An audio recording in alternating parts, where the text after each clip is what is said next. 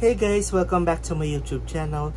And so for today's video, I'm going to uh, talk about my uh, new credit card product that I received recently lang. Uh, that'll be the BDO Shop More MasterCard. Okay, so uh, before we proceed this video, uh, please do subscribe to my YouTube channel. And for more updates, just click the notification ring bell button as well and follow my social media accounts on Instagram, Twitter, uh, TikTok, Laika, and Threads at RayRaynatics.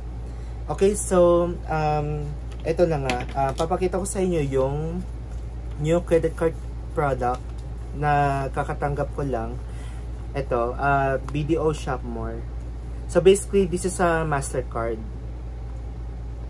So this is the BDO Shop More MasterCard. Um, tapos, um, meron din siyang kasamang uh, SM Advantage card. So, ayun.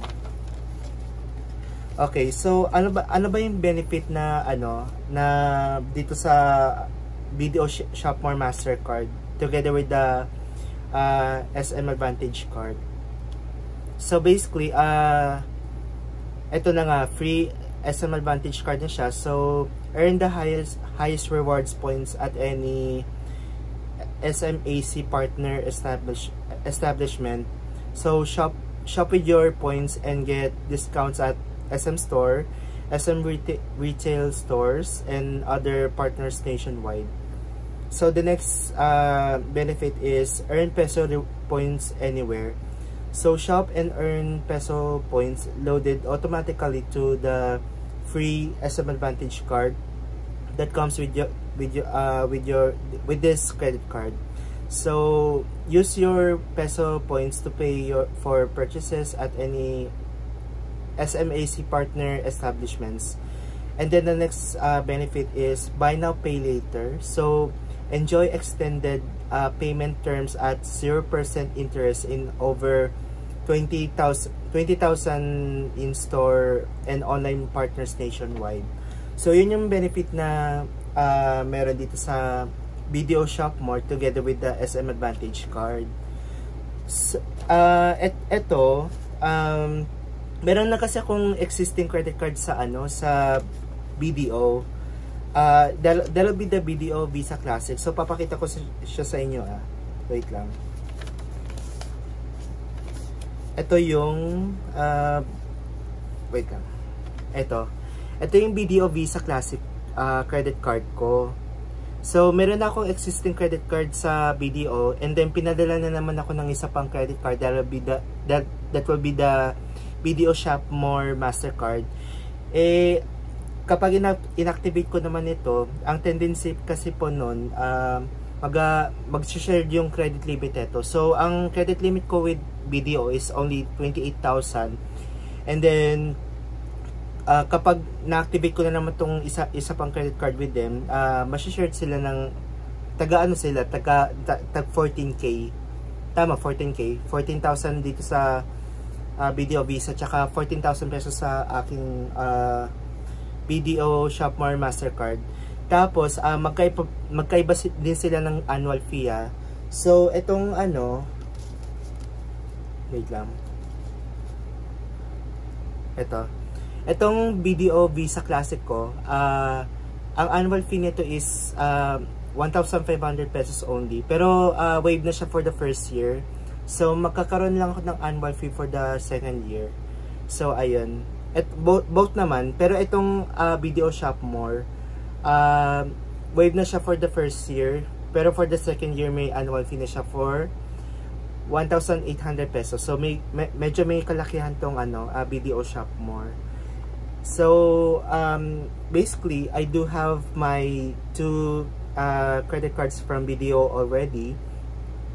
Pero, uh, kung i-ask, kung itatanong niyo sa akin kung ipapa-activate ko pa tong BDO Shop More Mastercard ko. So, ang ang sagot ko nito is hindi. Why? Kasi yun nga yung reason ko. Masya-share nga sila ng credit limit. Tapos pareho pa sila may annual fee. So, hindi siya practical. Kaya, hindi ko rin marirecommend sa inyo na magkaroon kayo ng credit uh, to get another credit card from the same bank. I think yung isang bangko na hindi shared yung credit limit on, that will be the um, Metrobank siguro. So, I think yun lang siguro yung bangko na ano. I'm not sure sa ibang bangko din. Pero I think as far as as far as I know, yung Metrobank lang talaga yung pinaka ano, uh, pinakamaganda na to get a credit card with them, especially when you get two credit cards sa Metrobank. Tapos hindi sila share ng credit limit whenever uh, kung ano man yung credit card product yung in-apply nyo do sa Metrobank. So, yun yung uh, yun yung gusto ko sa yung sana yung gusto ko sa Metrobank kaya lang eh hindi nga ako ma-approve approve parang gusto ko lang gumawa ng video na lahat ng mga bangko na na-disapprove sa akin so um yeah, gagawa ako ng poll kung gusto niyo gumawa ko ng ganong vlog so ayun na nga uh, so anyways yun yung ano ko, uh, yun yung mas, masasabi ko sa inyo, hindi ko marirecommend na to get another credit card from the same bank. Kasi syempre ang tendency po nun, eh, mas-shared lang yung credit limit nun. Eh, itong um, Shopmore Mastercard that I have, uh, siguro hindi ko na lang siya ipapa-activate kasi uh, I just keep it at home na lang. Uh, tsaka yung itong isa itong SM Advantage card na na-receive ko lately, ito, ito, kasi ito ah, wait lang. Papakita ko pa yung isa pang SM Advantage card ko. so ito rin, hindi ko rin siya magagamit. Kasi ito yung pinaka-active ko uh, ginagamit. Kasi malaki-laki na rin tong points na to eh. Eh, eh kapag ginamit ko pa tong isa pa, eh parang start parang starting up. So hindi siya practical kung malaki na malaki na yung points na na, na earn nyo dito sa SM Advantage card dito sa aking ano uh, uh, existing SMAC SMAC na meron ako ngayon. So, ayun, hindi ko rin to magagamit. So, basically, both um, Video Shopmore, Shopmore Mastercard tsaka yung yung bagong SM Advantage card ko, hindi ko hindi ko siya maano ma, magagamit. So, yun yung best advice ko sa inyo na sorry. whenever you get a credit card, um, isa mga once nyo lang, mga, mga once lang kayo mag-apply. So basically, I have um, six credit cards from different banks. Uh, that'll be the BDO, uh, BPI, RCBC, PNB, Union Bank, tsaka Citibank. Uh, I think wala, yun, wala pa nga ako sa Metrobank. Eh, ilang beses na rin ako naka-apply sa Metrobank, pero parang, parang, parang may something sa kanila na, ano, na may ayos sa akin. So, um, yun na nga. Yung sa East West ko, I, I actually mentioned na nag-apply din ako sa East, East West, sorry, sa East West. Uh, kaya lang wala pa rin yung ano ko sa kanila eh, yung status ko sa kanila. So, try ko rin i-follow up yun. So, ayun na nga. Um, kung ano, ito, ito pa guys ha, kasi syempre, uh, the reason why mas pinili ko tong ano, uh, 'di ba yung meron meron akong credit cards from Video, dahil Video Visa and then meron pa akong Video Shop More.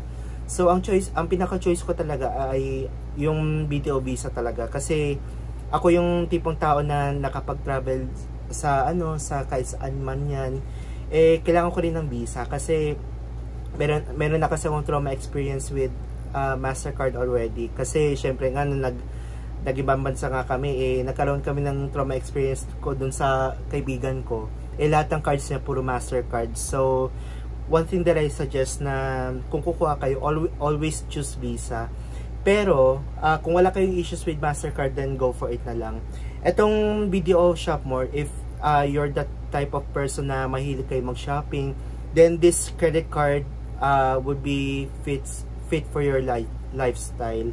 Pero kasi yung para sa akin kasi, since yung choice ko is BDO Visa Classic, kasi nga for travel nga eh, um, bihira lang din ako mag-shopping, uh, depende lang sa mga sales, sa mga ganyan. So, ayun. I think the reason why kung bakit ano, um, dalawa yung pinapadala ng, dalawang credit card ang pinapadala ni BDO, yun nga yung Visa Master, yung Visa, yung Visa Classic nila, tsaka yung uh, BDO Shopmore nila, because they actually giving uh, promos. So, so depende kung Visa man yan or Mastercard. So, as I as I said earlier na uh, ano naman din talaga or hindi ko pa nasabi to na ano na hindi maganda yung na maganda yung hindi maganda yung uh, reward system ng video but they were very good at promos. So ayun. Yun yung ano ko sa inyo uh, yun lang naman siguro yung ma-share ko sa inyo.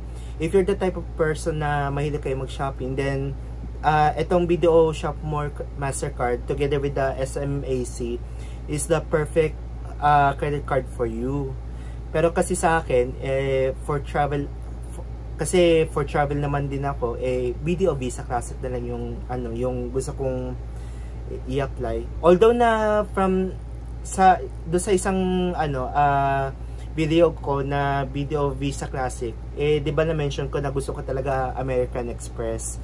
So ayun nga eh ang na-receive ko lang is video Visa Classic. Pero okay okay na rin yun sa akin. So ayun uh, yun lang naman guys. Uh, I think that sums up the discussion. Um, thank you guys for watching. And um, please do subscribe. Again again guys please, please do subscribe to my youtube channel. And for more updates just click the notification bell button.